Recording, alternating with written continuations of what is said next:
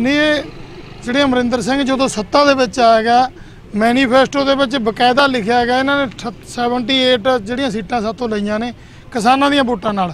ਇਹਨਾਂ ਨੇ ਕਿਹਾ ਵੀ ਆੜਤੀਆਂ ਦੇ ਕਰਜ਼ੇ ਅਸੀਂ ਛੱਡਾਂਗੇ ਨੈਸ਼ਨਲ ਬੈਂਕਾਂ ਦੇ ਕੋਆਪਰੇਟ ਬੈਂਕਾਂ ਦੇ, ਸਰਮਾਏਦਾਰਾਂ ਦੇ ਵੀ ਕਰਜ਼ੇ ਤੁਸੀਂ ਨਹੀਂ ਭਰਨੇ, ਅਸੀਂ ਭਰਾਂਗੇ।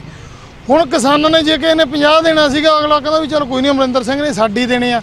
ਲਿਸਟਾਂ ਵੀ ਜਾਰੀ ਕੀਤੀ, ਉਹ ਆਪਦੇ ਚਹੇਤਿਆਂ ਦੇ ਛੱਡੇ ਛੱਡੇਗਾ ਥੋੜੇ ਪਰਸੈਂਟ ਆ ਪਰ ਬਹੁਤੇ ਲੋੜਵੰਦ ਕਿਸਾਨਾਂ ਤੱਕ ਕੋਈ ਉਹਨਾਂ ਦਾ ਲਿਸਟ ਚ ਨਾਮ ਨਹੀਂ ਆਇਆ। ਆ ਬਠਿੰਡੇ ਜ਼ਿਲ੍ਹੇ ਦੇ 1500 ਕਿਸਾਨਾਂ ਨੂੰ ਇਹਨਾਂ ਨੇ ਡਿਫਾਲਟਰ ਕੀਤਾ ਹੈਗਾ।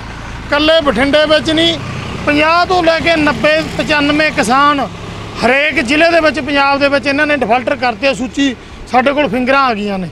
ਅਸੀਂ ਸਖਤ ਸ਼ਬਦਾਂ ਦੇ ਵਿੱਚ ਨਿੰਦਾ ਕਰਦੇ ਹਾਂ ਅਮਰਿੰਦਰ ਸਿੰਘ ਦੀ ਸਰਕਾਰ ਦੀ, ਕਿਉਂਕਿ ਕਿਉਂਕਿ ਅਮਰਿੰਦਰ ਸਿੰਘ ਨੇ ਜਿਹੜਾ ਵਾਅਦਾ ਕੀਤਾ ਸੀ ਵੀ ਮੈਂ ਕਰਜ਼ੇ ਛੱਡੂੰਗਾ, ਕਿਸਾਨਾਂ ਨੇ ਕਿਹਾ ਵੀ ਚਲ ਕਰਜ਼ੇ ਛੁੱਟ ਜਾਣੇ ਆ।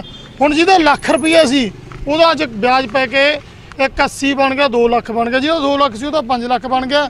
ਇਹਦੀ ਜ਼ਿੰਮੇਵਾਰ ਜਿਹੜੇ ਕਿਸਾਨ ਡਿਫਾਲਟਰ ਹੋਏ ਆ, ਇਹਦੀ ਜ਼ਿੰਮੇਵਾਰ ਪੰਜਾਬ ਸਰਕਾਰ ਹੈ। ਤਾਂ ਅਸੀਂ ਮੰਗ ਲੰਮੇ ਸਮੇਂ ਤੋਂ ਕਰਦੇ ਹੁੰਦੇ ਹਾਂ ਵੀ ਆਰਥਿਕਤਾ ਜਿਹੜੀ ਕਿਸਾਨਾਂ ਦੀ ਉਹ ਕਮਜ਼ੋਰ ਆ। ਕਿਉਂਕਿ ਸਾਨੂੰ ਜੈਂਟਸਾਂ ਦੇ ਭਾਅ ਨਹੀਂ ਮਿਲੇ, ਸਾਨੂੰ ਜਿਹੜੀਆਂ ਕੀਟਨਾਸ਼ਕ ਦਵਾਈਆਂ ਨੇ, ਉਹਨਾਂ ਦੇ ਵਿੱਚ 25% ਐਤਕੀ ਵਾਧਾ ਹੋ ਗਿਆ। ਸਾਡਾ ਭਾਅ ਸਿਰਫ 60 65 ਰੁਪਏ ਦਾ ਭਾਅ ਵਾਧਾ 4% ਮਹਿੰਗਾਈ ਵਧੀ ਹੈ 25 30% ਇਸ ਕਰਕੇ ਕਿਸਾਨ ਆ ਜਿਹੜਾ ਪੰਜਾਬ ਦਾ ਐਤਕੀ ਝਾੜ ਵੀ ਘਟ ਆ ਆ ਜਿਹੜਾ ਨਰਮੇ ਦਾ ਝਾੜ ਆ ਇਹ ਵੀ ਘਟ ਗਿਆ ਕਪਾਹ ਦਾ ਵੀ ਘਟ ਗਿਆ ਝੋਨੇ ਦਾ ਵੀ ਘਟ ਗਿਆ।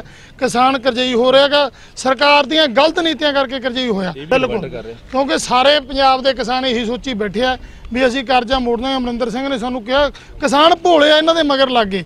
ਹੁਣ ਅਸੀਂ ਬੇਨਤੀ ਕਰਦੇ ਆ ਪ੍ਰਸ਼ਾਸਨ ਨੂੰ ਤੁਹਾਡੇ ਜਰੀਏ ਅਲਟੀਮੇਟਮ ਦਿੰਦੇ ਆ ਸਰਕਾਰ ਨੂੰ ਦਿੰਦੇ ਆ ਜਿਹੜੇ ਕਿਸਾਨਾਂ ਦੇ ਇਹਨਾਂ ਨੇ ਹੁਣ ਕੁਰਕ ਕਰਨ ਦੀ ਡਿਫਾਲਟਰ ਕੀਤਾਗਾ।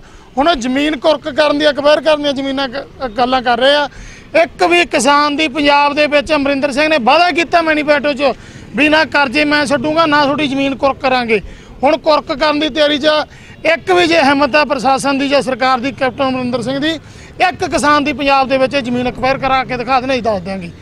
ਇੱਕ ਵੀ ਕਿਸਾਨ ਦੀ ਜ਼ਮੀਨ ਅਕਵਾਇਰ ਨਹੀਂ ਹੋਣ ਦੇਵਾਂਗੇ, ਨਾਲ ਹੀ ਟੀਵੀ ਜਰੀਏ ਮੈਂ ਕਿਸਾਨ ਵੀਰਾਂ ਨੂੰ ਬੇਨਤੀ ਕਰਦਾਗਾ ਜੇ ਕਰਜ਼ਾ ਮੁੜਦਾ, ਮੋੜੋ ਕੋਈ ਗੱਲ ਨਹੀਂ। ਪਰ ਜੀ ਤੋਂ ਨਹੀਂ ਮੁੜਦਾ, ਜਮਾ ਨਾ ਮੋੜੋ, ਕਿਸੇ ਤੋਂ ਡਰਨ ਦੀ ਲੋੜ ਨਹੀਂ।